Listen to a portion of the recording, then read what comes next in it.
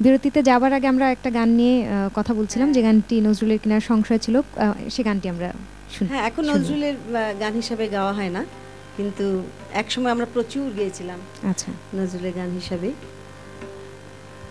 কেন আজ মধুকর গুঞ্জরণে চোখ মেলিলে কেন আজ মধুকর গুঞ্জরণে চোখ মেলিলে কেন আজ মধুকর? জানিয়া বে হায় আখি, কেন হার মানিলে? কেন হার মানিলে? কেন আজ মধুকর? গুঞ্জরণ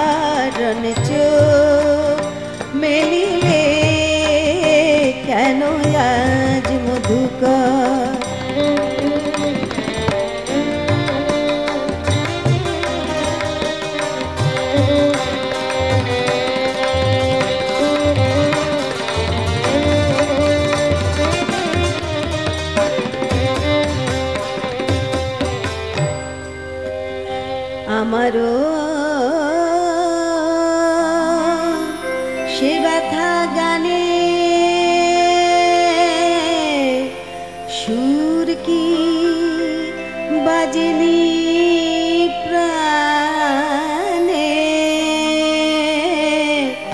আমারও সে ব্যথা সুর কি বাজেনি প্রাণে? দুনয়নে ছলো ছলো কেন জল ফেলিলে কেন জল ফেলিলে কেন জল ফেলিলে কেন আজ মধুকর গুঞ্জরণ চোখ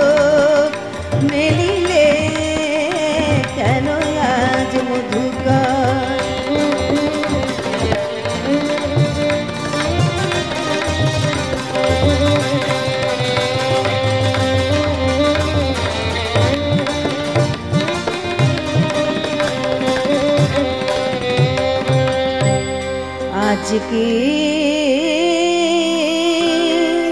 সহসা জাগি। কোন সে বেদনা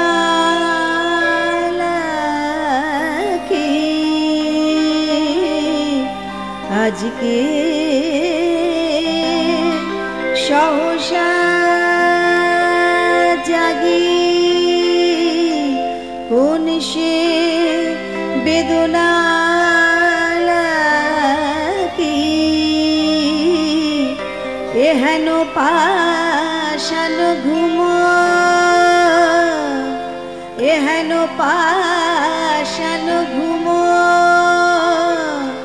तुम घोर भांगिले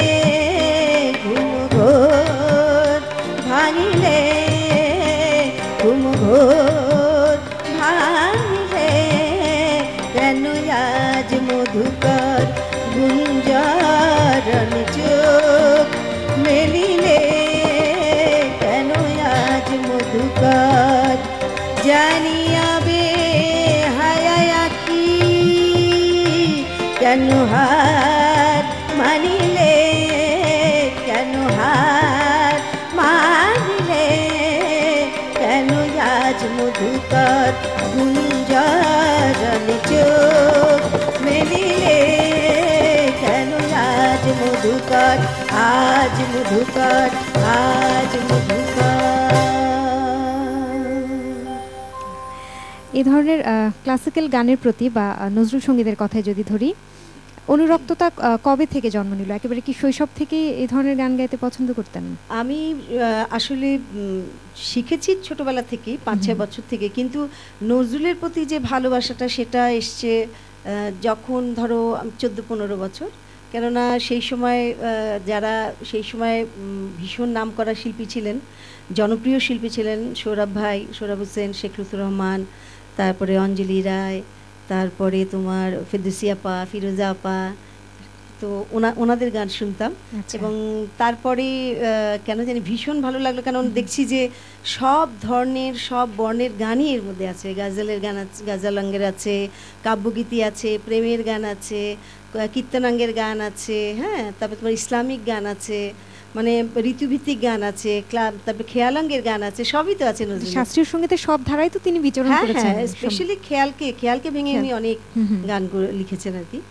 বেশিরভাগই ওনার মানে রাগভিত্তিক গি- গান আর কি। আমরা পরের গানে যাব তার আগে একটা ফোন নিয়ে নিচ্ছি। হ্যালো। হ্যালো আলাইকুম। ওয়ালাইকুম সালাম। কেমন আছেন?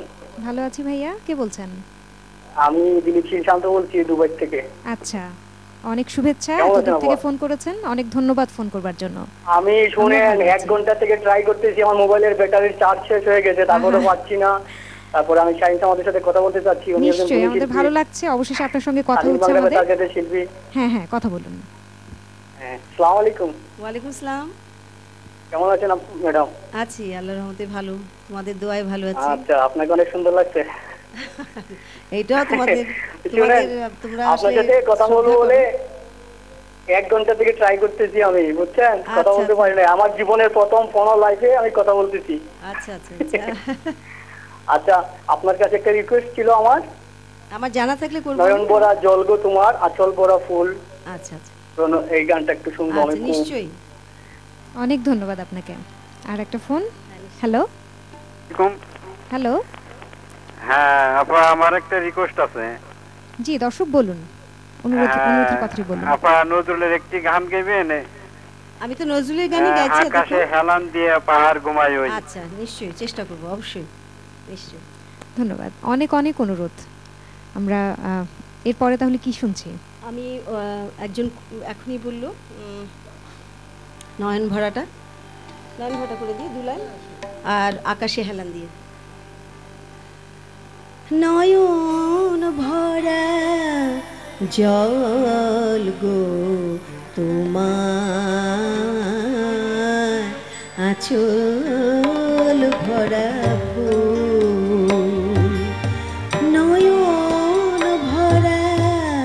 জল গো তোমার আচল ভরা ফুল নেব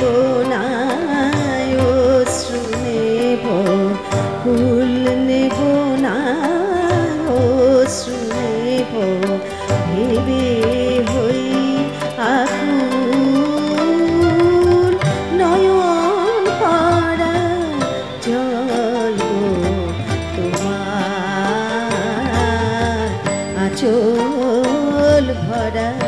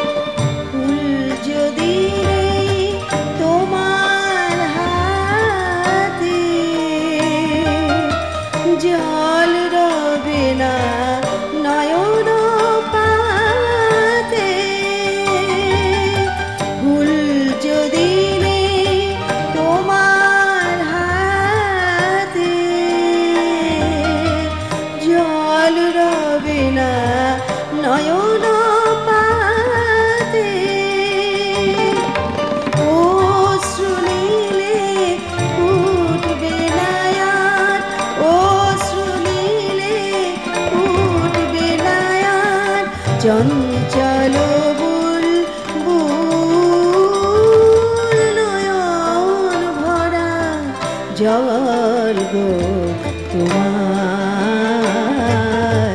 আচল ভরা ফুল ফুল নেব না অশ্রু নেব। ফুল নেব না অশ্রু নেব। ভেবে হই আকুল,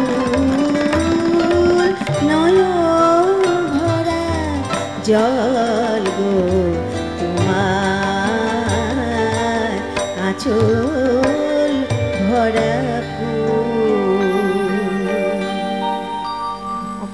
এরপরে বলেছিল আকাশে হেলান দিয়ে হ্যাঁ? হ্যাঁ। আকাশে হেলান দিয়ে পাহাড় ঘুমায় ওই আকাশে হেলান দিয়ে পাহাড় ঘুমায় ওই ওই পাহাড়ে ঝরনায় ঝরনায় আমি ঘরে নাহি রইব। উধাও